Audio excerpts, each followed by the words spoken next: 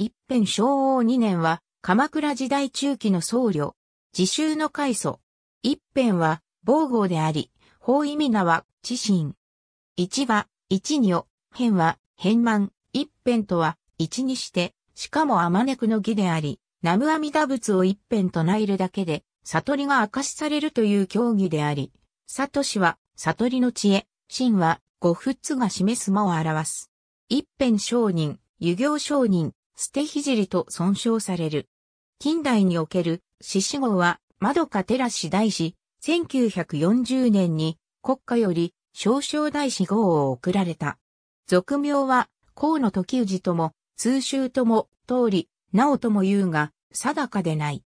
古来日本では、人の名をむやみに呼ぶべきではなく、人に知らせるものではない、ましてや実名では呼ぶべきではないという慣習が存在したことが原因と考えられる。延王元年伊予国久米郡の豪族、河野道弘の第二子として生まれる。幼名は少女丸。生まれたのは、愛媛県松山市道後温泉の奥谷である、法岩叔父の一角と言われ、現行4年に、同族、徳能通綱によって、一辺商人ご誕生旧石の石碑が建てられている。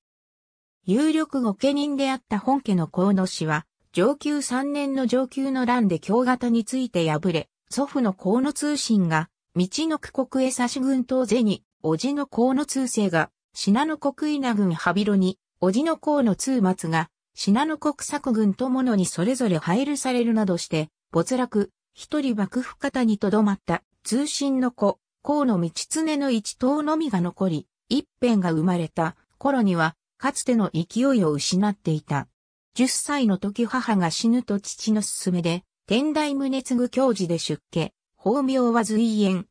県庁三年十三歳になると、太宰府に移り、法年の孫弟子にあたる清たちのもとで十年以上に、渡り、浄土宗、西山義を学ぶ。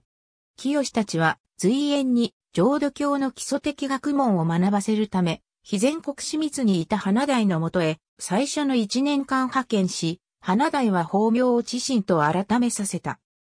法事山に極楽無稲半会は、随縁の雑前をもっては、おそらく生じ型種とあり、念仏以外の善は雑前であり、往生できない根源の雑前である随縁をなと、するのは、好ましくないとの判断であった。県庁4年から校長3年まで、清たちのもとで修学。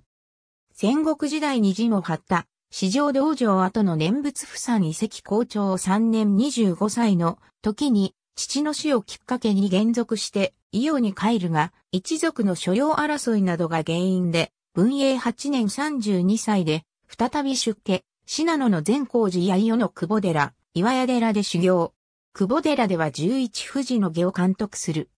文永11年2月8日に遊行を開始し、四天王寺、高野山など各地を転々としながら、修行に励み、六字名号を記した念仏札を配り始める。キーで、とある層から己の不信心を理由に念仏札の受け取りを拒否され、大いに悩むが、賛同した熊野本宮で、阿弥陀如来の衰弱身とされる熊野権現から主上サイドのため、新不信を選ばず、清不条を切らはず、その札を配るべしとの無告を受ける。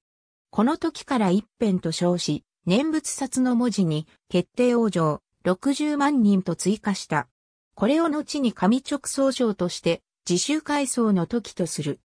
検事2年には九州各地を念仏勧進し、鹿児島神宮で神へとことわに南無阿弥陀仏ととなふればなも阿弥陀部に生まれこそすれを廃し、検事3年に文後国王の層で他に会うなどして入門者を増やし、彼らを自習として引き連れるようになる。さらに各地を暗夜し、公安2年には、叔父の通末が配慮された、信濃国友の層を訪れた時に踊り念仏を始めた。踊り念仏は尊敬してやまない一聖空也に習ったものといい、三味教心にも傾倒していた。公安3年に、道の区国稲瀬にある祖父の通信の墓に参り、その後、松島や平泉、日立国や武蔵国をへめぐる。公安5年には、鎌倉入りを図るも拒絶される。公安7年上洛し、市場京国の釈迦堂に入り、都の各地で踊り念仏を行う。公安9年、四天王寺を訪れ、聖徳太子廟や大麻寺、岩清水、八幡宮を参詣する。公安10年は、諸社山遠教寺を経て、播磨国を安野し、さらに西行して、厳島神社にも参詣する。1274年以来14年の遊行を経て、昭和元年瀬戸内海を越えて、故郷伊予に戻り、菅尾の岩屋へ巡礼、半田寺に3日間参浪して、浄土三部教を奉納。12月16日一辺一行は三層の船に分乗して、今治の別宮大山積神社付近から大三島へ、都会、河野市の氏神である、大山積神社に3日間参浪後、今治に戻る。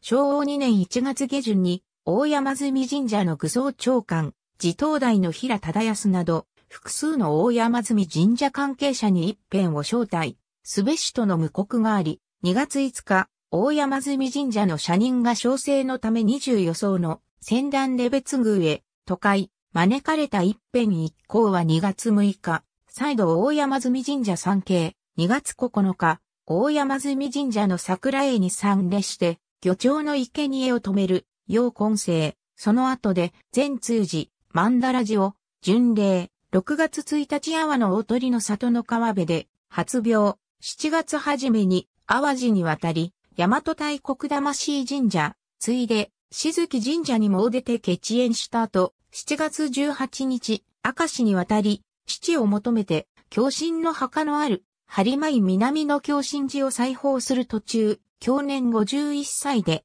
節表没の観音堂で、旧暦8月23日午前7時頃没し、15年半の遊行を終えた。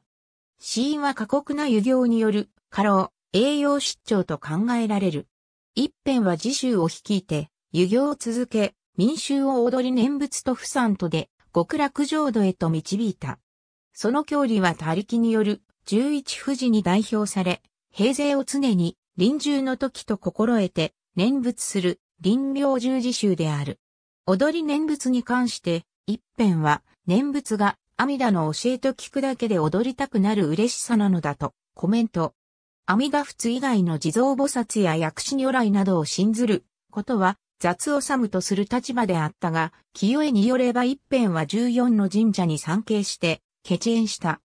一辺の神義官は、もっぱら神明の脅しを仰ぎて、本寺の徳を軽んずることなかれとのことに代表され、神明すなわち、日本の神を崇め、神の本寺である仏の徳を拝することは、先週念仏の妨げとはならないというものであり、熊野権現の神託や鹿児島神宮での神へも受け入れた。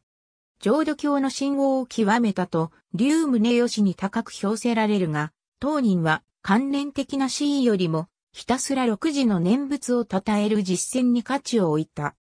念仏を唱えれば、阿弥陀仏の本願により往生可能であり、一辺が関わる人のみならず、一人でも多くの人が往生できるようにとの願いを込めた安心の68の具勢、南無阿弥陀仏決定往生60万人を付産した。60万人とは一辺作の章、六時名号一辺、法獣会、絵章一辺体万行理念一辺精進中、上場名後花の最初の文字を集めたものであり、一切主上の名であり、まず60万人の主上に付産し、叱る後に、さらなる60万人に、付産を繰り返すということであり、一辺政策の産を、受け取り勧進帳に記名した入信者数は250万人に達したという。大橋敏夫はこの産を一辺が極楽往生を保証する浄土行きの電車の切符と例えた。寺院に依存しない一所不住の諸国遊行や我が家道は一語ばかりぞとの心情を貫き、入弱の13日前の昭和2年8月10日の朝に所持していた書籍のうち少数を書者山の層に託して奉納した後、手元に残した自治及び所持書籍すべてを阿弥陀行を読み上げながら自ら焼却し、一代、聖教皆尽きて南無阿弥陀仏になり果てぬと宣言して、驚愕体系を残さなかったという伝記から、その高潔さに惹かれる。現代人は多い。和歌や阿波山による分かりやすい狂気や新不信、清不浄を問わない念仏勧進は、仏教を庶民のものとする大いなる契機となった。いわゆる鎌倉新仏教の祖師の中で、唯一比叡山で修学した経験のない人物であり、肝臓ではなく、指導像から生に至る民間宗教者の系統に属することが指摘できる。一辺の踊り念仏は他の修行者の遊行とは違い、見せ物工業に近い。人の集まる地域に踊り屋という一段高いステージを設け、男女の踊り手側になって歌い踊り、やがて観客を巻き込んで法越に至る趣向だった。その過激な狂乱状態は、保守的な人々からは反発を受けた。例えば六条、有房の野森鏡では、法越状態で服を脱ぎバリ増減を叫ぶ踊り、念仏の見苦しさに対する強烈な批判が述べられている。門弟には、一辺清江を残した、イボテイともいう政界や二歳年上の他おもねえらがいる。現在の自宗教団は一辺を宗祖とするが、僧として正式に成立したのは江戸幕府の政策による。一辺には改装の意図はなかったし、八州体制下でそれが認められるはずもなかった。近世紀には本来は別系統であったと考えられる一行、都市清や国オモネラの方形が吸収されており、空也を仰ぐ寺院が自習とみなされていた例もある。制度的な面から見れば、自習の実質的階層は、他甘さのりということもできる。一辺の死後、自然解散した自習を、他が再編成したのが起源である。法岩王子が所蔵していた木造一辺承認立像。その生涯は国宝一辺清江が余すところなく伝える。遊行承認演技へは他が描かせたものである。一辺承認語録は江戸期の編纂になるもの。東馬無料、三寺、東山長楽寺に木造立像があるを所蔵していたが2013年8月10日の本堂火災で消失。病所は新興寺にあり、立州の影響が指摘される巨大な五輪塔である。阪神、淡路大震災により倒壊し、中から国会が現れたことで、実際の埋納が確認された。